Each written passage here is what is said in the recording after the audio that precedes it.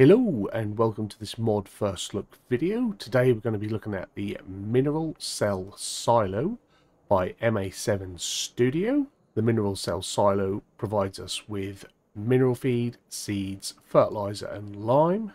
So let's get in and have a look at it. Let's go. So the Mineral Cell Silo can be found under containers. It works as a purchase point. Costs 2,500, has a uh, monthly upkeep of uh, $10 euros or pounds. So we'll get that down here. We'll just try it out. We'll just stick it at the front of the farm. I think it'll be fine there.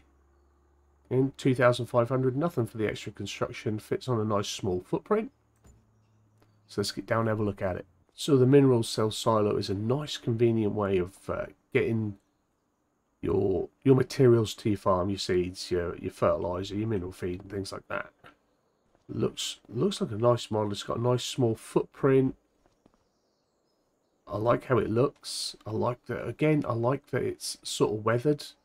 We've got a little. Uh, you can see inside see how much there is, but it's full. It works like I say. It works as a purchase point, so it's always in there. You don't have to come and top it up.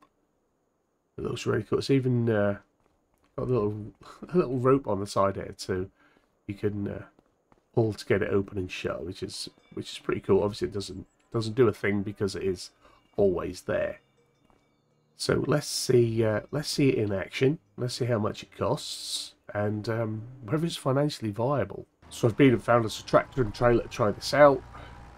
I believe it's an 8,000 litre trailer, which is going to be nice and handy for checking on prices.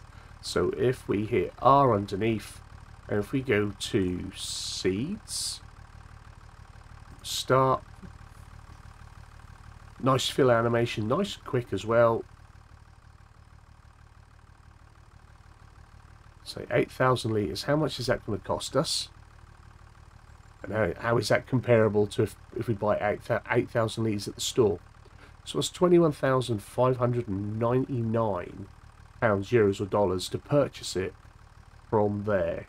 So if we go in, have a little look in store. If we scroll down to seeds, so it's 1,028 a bag. So if we set that to 8, because that would be our 8,000 litres, wouldn't it? And that's 10,000, so it's double the price. More than double the price to get out there. That is 8,000. Let me just double check. 8,000 litres. So it's twice the price for the convenience. So that's something you sort of have to weigh up when uh, making these decisions with some of these some of these placeables. Obviously, that is something that if you're on PC, you could go in and edit and change that price yourself. But I think that's a lovely mod, nice and convenient for the farm. If you can afford the convenience, it's only two and a half grand to place. As long as you're not use it on a massive scale, I think you'll be alright. Well, I like that. That's really good. I'm sure there's something that you could work into uh, your farms and uh, your Let's Plays and your role plays. A really nice mod. I've enjoyed having a little look at it.